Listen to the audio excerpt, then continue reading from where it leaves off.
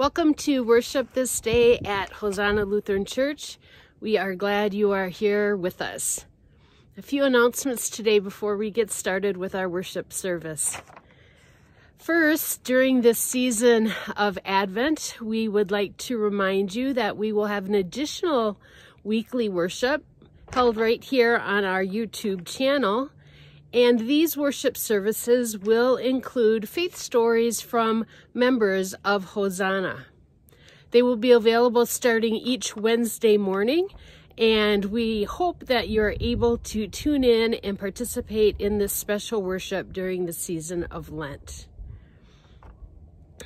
On February 21st, we will be hosting a drive-up uh, communion at Hosanna where families and individuals may drive up in their car, receive the elements, and then proceed to the parking lot where we will participate in the liturgy and blessing of the elements as we partake in Holy Communion.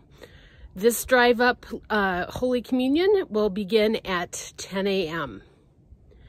And finally, as a reminder, please double check your newsletter and the e-news, which you should be receiving weekly regarding the various forms of ministries happening right now within and through the members of Hosanna. The God's Work Our Hands All Year Long ministry is working on projects and information is available in the e-news. And additionally, there's some special things coming up in March, including Bible studies, that all of that information is located um, in the e-news or in our newsletter. Thanks so much for joining us in worship. Welcome. I'd like to take this time to invite you to join us in the Praying in Color class beginning this Tuesday at 6.30 here in person at Hosanna for up to nine people or on Zoom. If you are at home with your families, it's a great family activity. Give everybody a notebook or a piece of paper, some pieces of paper. Grab your colored pencils, or skinny markers and join us for a time of prayer together. Or you can join us on Wednesday morning at 10 a.m. here at Hosanna. I thought I would answer a couple questions that people have been asking me. And the first question that I've been asked is, do I have to be an artist? And the answer is no. I'm a stick figure drawer. I am not a fancy artist or drawer at all.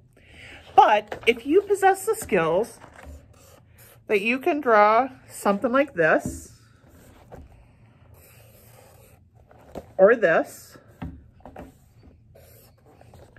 or this, or this, you have the skills to do praying in color. Another question I often get is, will I have to pray aloud? No, you don't even have to use words if you don't want to. Praying in color is, is a prayer that you can draw shapes and color. We can write words in, but you're not going to share your prayers aloud with each other or have to think of and pray a prayer aloud during this time. I'm also asked, do I have to share my drawings with others? And the answer to that is only if you choose. I've taught this class before some people choose to share their drawings, and share their prayers. Others don't. Either way is perfectly fine, and you're not going to be put on the spot to share prayers. I wanted to talk just a bit about the benefits of using Praying in Color. I did Praying in Color late spring in the midst of COVID when people were starting to get tired and the anxiety of COVID was just starting to ramp up. We did praying in color over Zoom, and I gathered with anywhere between 12 and 20 people on Zoom. And what we found is it was a chance for those gathered to pray to slow down and have some time away. It felt different for kids who were doing distance learning, but it gave but they joined us and it gave them a time to slow down and to pray in a safe way and in a way that wasn't a demanding instruction. It was just a place that people would be able to gather to just pray and breathe. So I want to encourage you to check us out. Um, it's a relaxing activity. It also is really kind of fun to be able to go back in your notebook and look at old prayers. Now, if I can find my old notebook from last spring and, and the summer and fall, hopefully I'll be able to share with you the prayer that led me here to Hosanna. Yes, folks, when I discerned my call to be your pastor, I used praying in color to help me discern where God was calling me. So, hope to see you there. We still have spots available. If you'd like to join us, please either send me an email or give me a call. Look forward to seeing you and having you join one of the classes. See you in worship. Bye. Let us join together in our call to worship. Again and again, we come to this space. Again and again, we gather as community.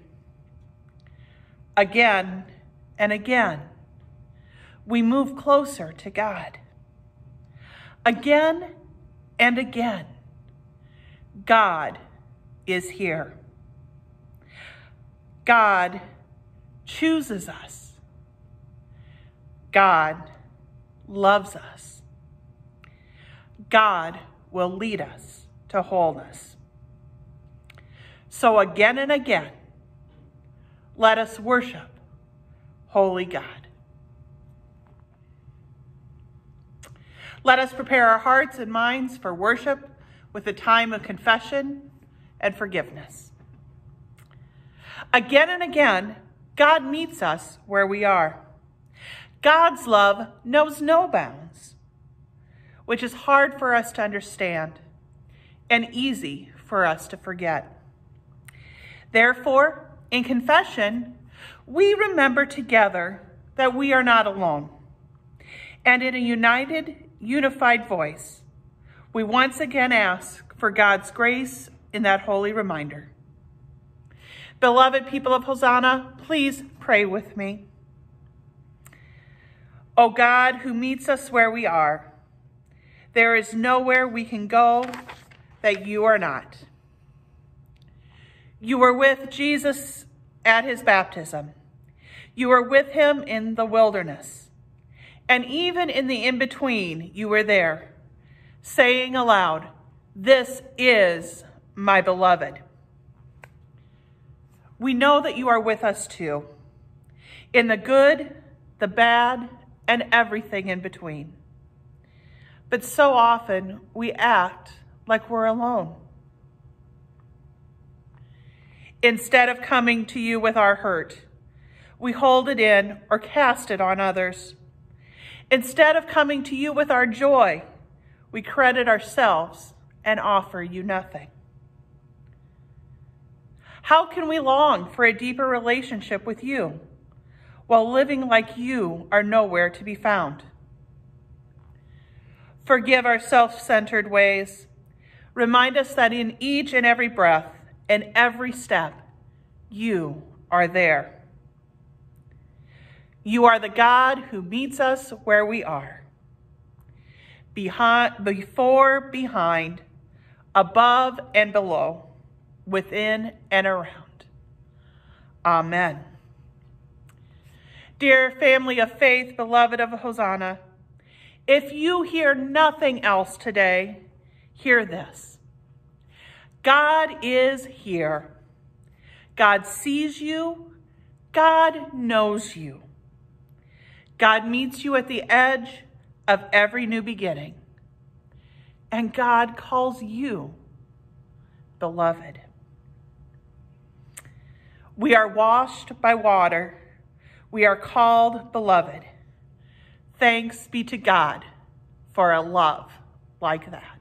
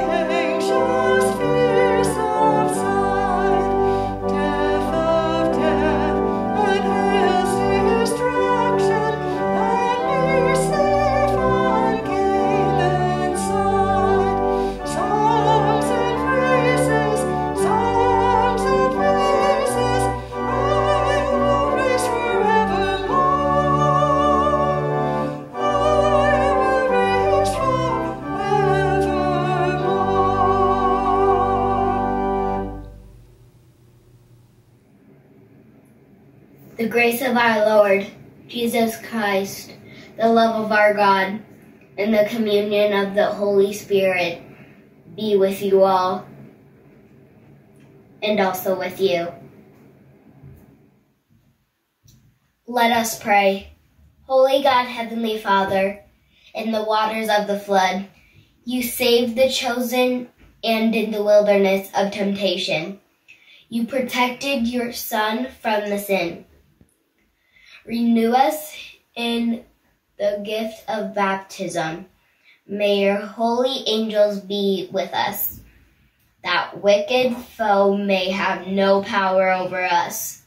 Through Je- Jesus Christ, our Savior and Lord, who lives and reigns with you in the Holy Spirit, one God now and forever. Amen. Good morning. Welcome to worship and the children's message for this morning.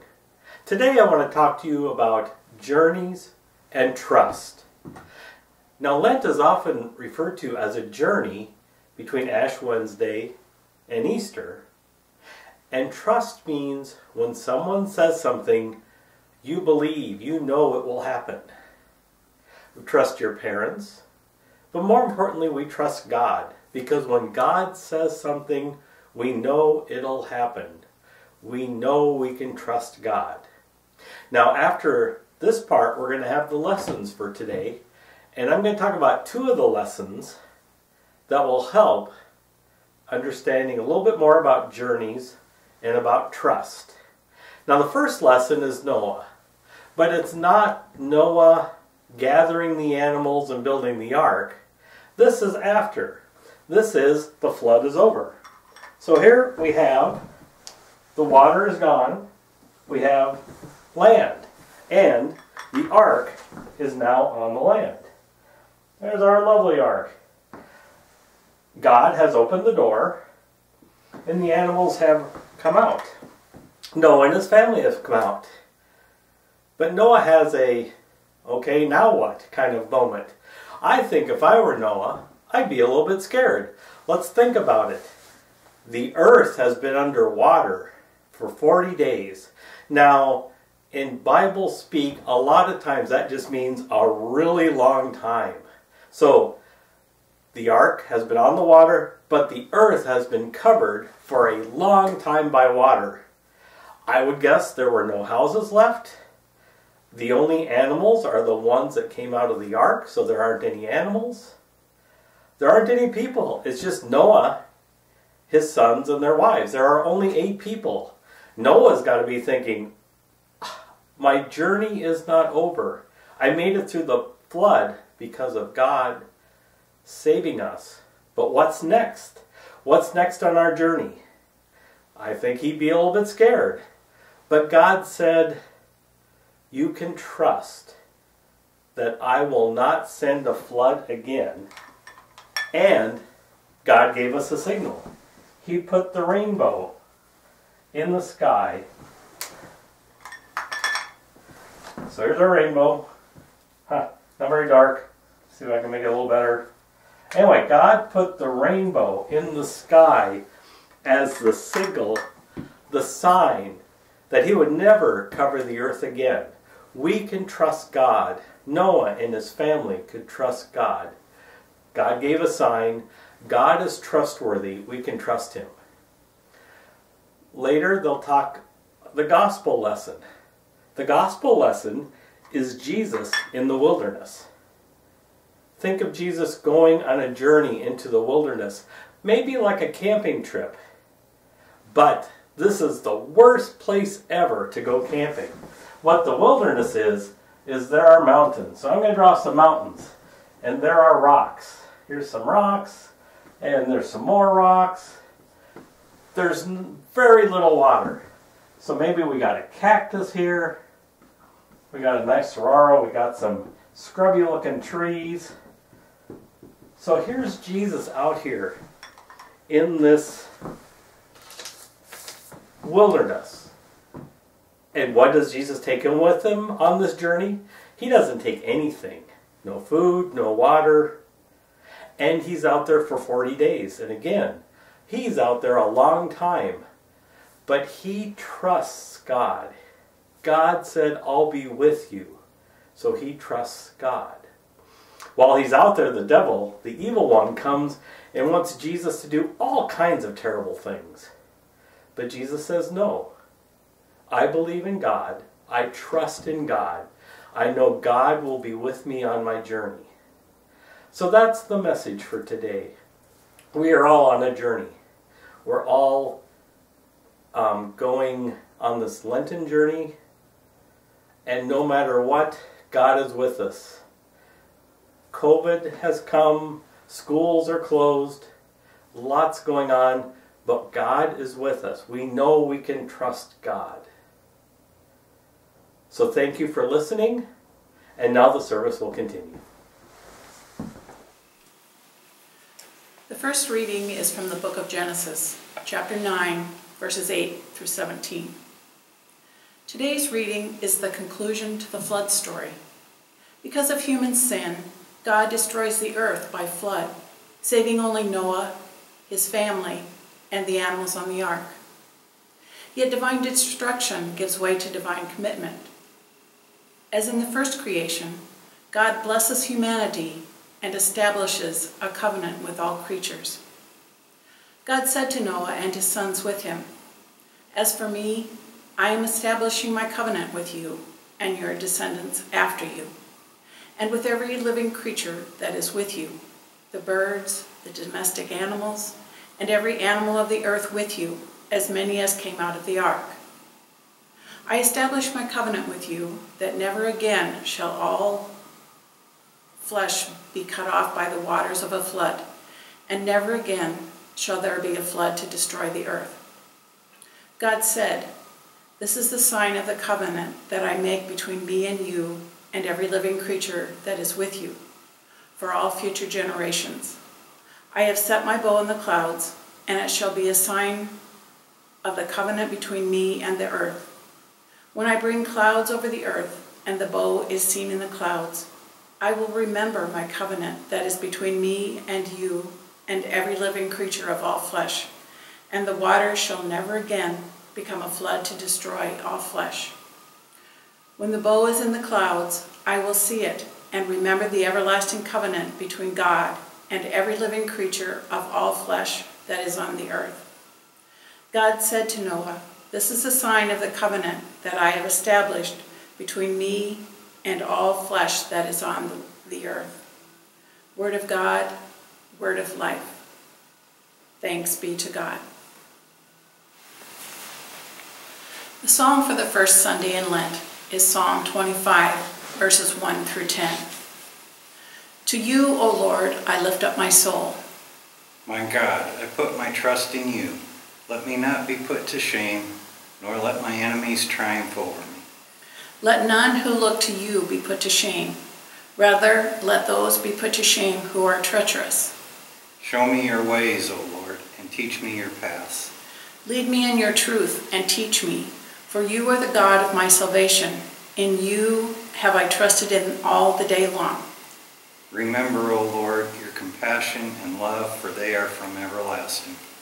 Remember not the sins of my youth and my transgressions. Remember me according to your steadfast love, and for the sake of your goodness, O Lord. You are gracious and upright, O Lord. Therefore you teach sinners in your way. You lead the lowly in justice and teach the lowly your way. All your paths, O Lord, are steadfast love and faithfulness to those who keep your covenant and your testimonies.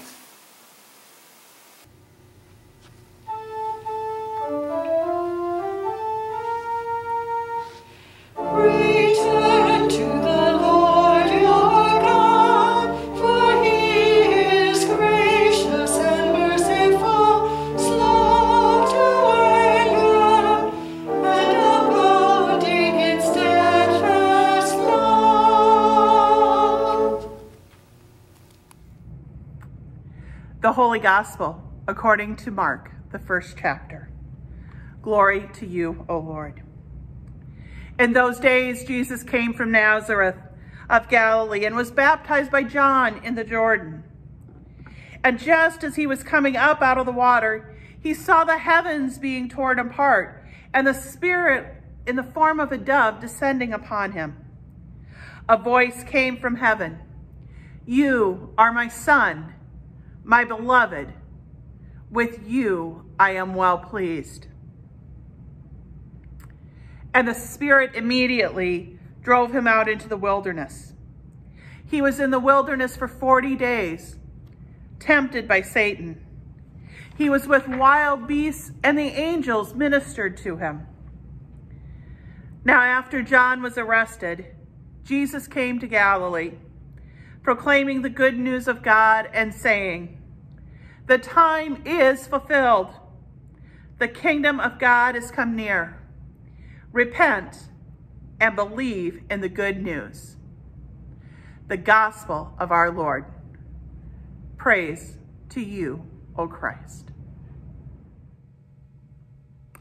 Well, here we are again. A few short weeks ago, the first Sunday of Epiphany, we celebrated the baptism of our Lord. We heard the words and the proclamation from the heavens to Jesus. You are my son, the beloved, the chosen and marked by my love. On that Sunday, we were reminded that in our baptism, we are welcomed into the family of God. And we, in Christ, too, receive the identity, beloved, chosen, marked by God's love. This past Wednesday, we once again gathered together outside in our parking lot and together and apart in worship. And we were reminded again with ash on our forehead that we are dust, from dust we shall return. But the mark we received on our forehead wasn't just a smudge of ash. It was in the shape of a cross. We were also reminded, remember you are dust and to dust you shall return. And from dust we will rise to new life in Christ. Yes, we are chosen and we are loved by God. We are called beloved. And this is an important place to begin our Lenten journey. It's an important place for Jesus as well in the life of his ministry. Beloved. Before Jesus is driven into the wilderness, his father proclaimed and reminded him you are my beloved son, chosen, marked by my love. In you, I am well pleased. Take a moment. Let that word soak in. Beloved.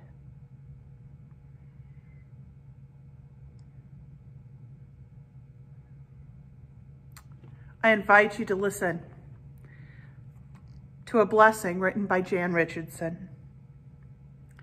It's called Beloved is Where We Begin. If you would enter into the wilderness, do not begin without a blessing. Do not leave without hearing who you are beloved, named by the one who has traveled this path before you. Do not go without letting this echo in your ears. And if you find it's hard to let it in your heart, do not despair.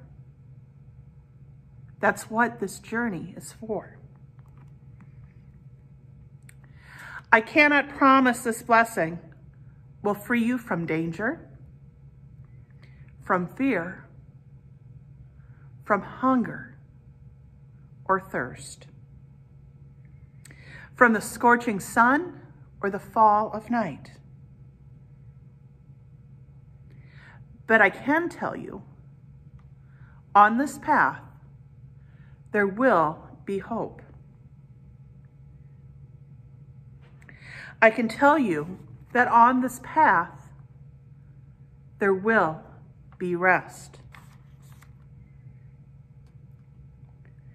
I can tell you that you will know the strange graces that come to our aid only on a road such as this, that fly to meet us bearing comfort and strength, that come alongside us for no other cause than to lean themselves in toward our ear and with their curious insistence whisper our name, beloved. Beloved. Beloved.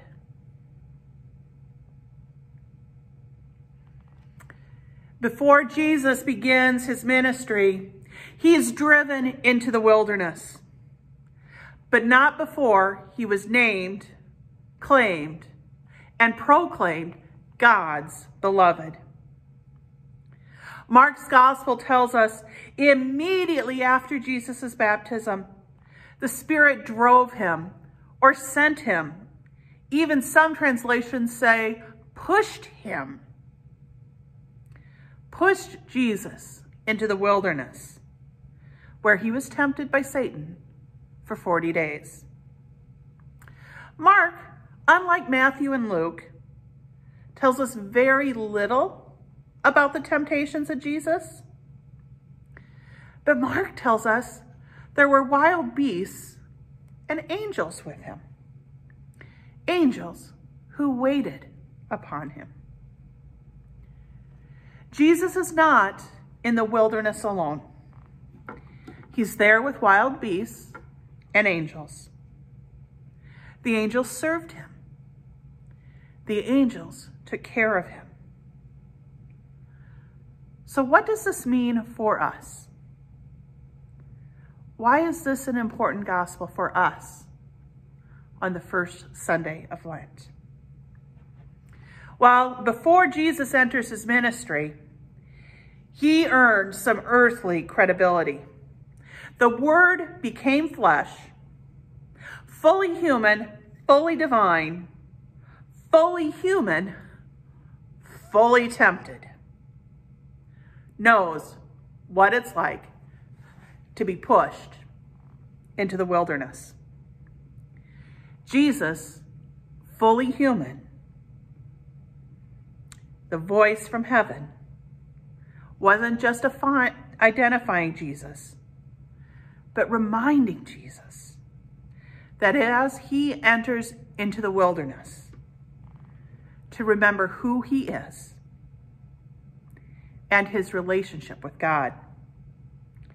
Jesus, chosen, marked by love, and held by God as beloved. Jesus trusted the voice, Uh, the trusted voice of God reminds Jesus that he can trust and rely on God during this wilderness time. Now, Jesus doesn't go into this wilderness alone. Jesus is in the hand of the Spirit into the wilderness. The Spirit drives him, pushes him, takes him into the danger zone. You know, into that place of what is and what is to be promised. What is and what is promised that we will receive. This is the place of Lent. This is what we practice and rehearse throughout the season of Lent. We acknowledge what is in our lives, and we cling to the promise of what is to come. But this gospel news is good news for us far beyond our Lenten journey. There are many times in our lives we find ourselves in these times of wilderness. That in between place of what is and what is promised. Oftentimes, like Jesus, we don't walk into these wilderness periods, but we find ourselves pushed and even dropped there. Times of temptation, times when we face things that scare us like wild beasts, health concerns, disabilities, cancer diagnosis, mental health issues, financial difficulties, loss of a marriage, loss of a loved one. The list goes on and on. There are many ways and many times we may feel lost and alone. Here's the good news, my friends. We do not face these times alone. We are named and claimed by a God who personally knows the struggles of the wilderness. The one who's calmed the wild beasts. The one who serves and cares for you as Jesus was cared for by the angels. Beloved people of God, hear these words. We do not do this alone. We journey through the wilderness of life with a community of people who share this ancient story. We retell it again and again.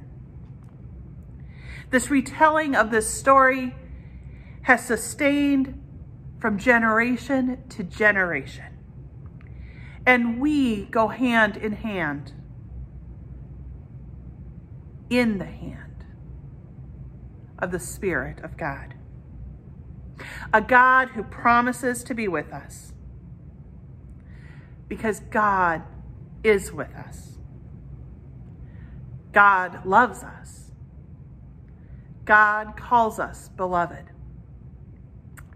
Our Lenten theme this year calls us again and again.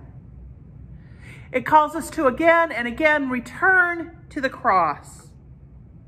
Return to the cross even in the wilderness times. Again and again, return to hear, to hear the story, to hear the words of promise and words of hope. Hear these words. God chooses you. God loves you. And God will lead you to wholeness. In the meantime, let us remember this. God promises on this path there will be help. That on this way there will be rest. That you will know the strange graces that come to our aid only on a road such as this. That fly to meet us, bearing comfort and strength. That come alongside us for no other cause than to lean themselves toward our ear and with their curious insistence, whisper our name.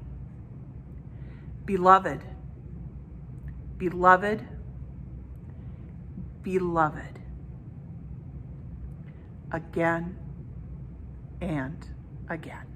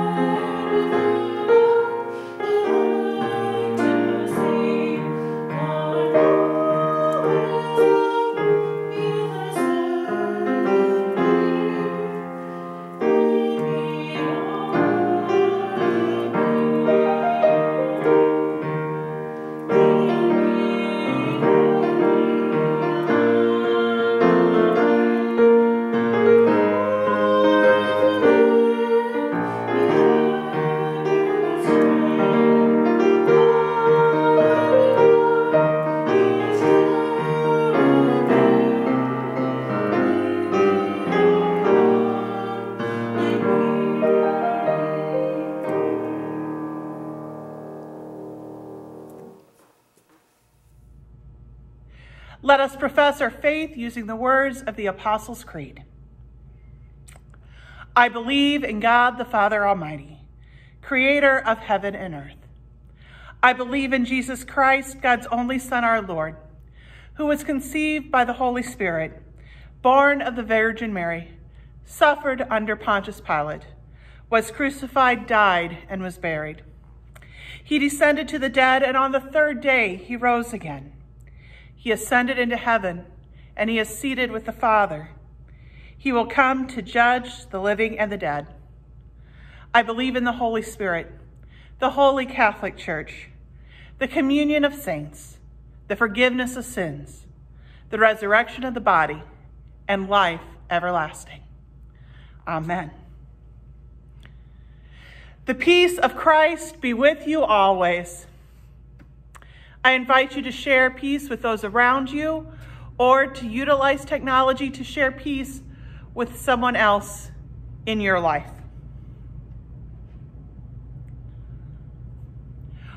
We are worshiping together but apart. And it's important for us all to remember that the ministry of Hosanna continues through your continued sharing of your financial gifts, as well as your time and talents. We invite you to use this time to prepare your offerings or offer to send or send them in electronically. We want to thank you in advance for your generosity as we give back to God what God has given to us through our gifts and our offerings.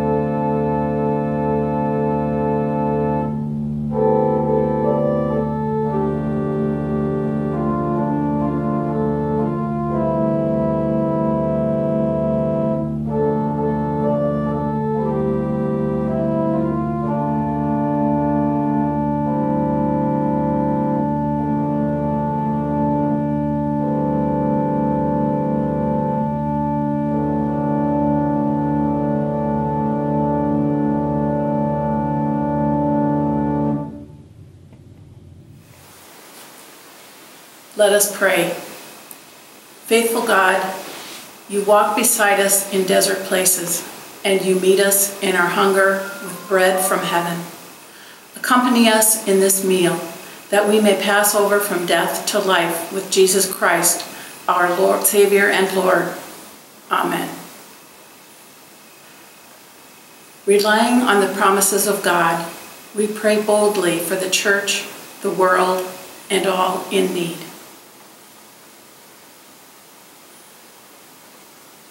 O God, again and again you call your church to be ministers of reconciliation throughout the world. Inspire your church in its proclamation of the gospel and guide its ministries to build up the body of Christ. Lord, in your mercy. Hear our prayer. O God, again and again you desire peace. Direct governments and leaders to work for the well-being of all people and raise up advocates to speak and serve on behalf of the downtrodden. Lord, in your mercy. Hear our prayer. O God, again and again, you are our hope in the midst of despair, our help in the midst of sorrow, and our consolation in the midst of affliction. Grant comfort to all who suffer in body, mind, or spirit, including Elna, Carol, Cindy, Chuck, Joanne, Becky, Mary Lou, and Dan. And support caregivers who attend to all in need. Lord, in your mercy. Hear our prayer. O God, again and again you choose us. You love us and you restore us to wholeness. We entrust ourselves and all our prayers to you, O faithful God, through Jesus Christ our Lord. Amen. Lord, remember us in your kingdom and teach us to pray. Our Father, who art in heaven, hallowed be thy name. Thy kingdom come, thy will be done, on earth as it is in heaven. Give us this day our daily bread, and forgive us our trespasses, as we forgive those who trespass against us. And lead us not into temptation, but deliver us from evil. For thine is the kingdom, and the power, and the glory, forever and ever. Amen. Receive the blessing. As you leave our time together, may your mouth speak of God's goodness. May your arms hold those in need. May your feet walk towards justice. May your heart trust its worth. May your soul dance in God's grace. And may this be your rhythm again and again and again until God's promised day. Know that God chooses you. God loves you. God will lead you to wholeness. Go with courage. Go with heart. Go in peace. In the name of Christ. Amen.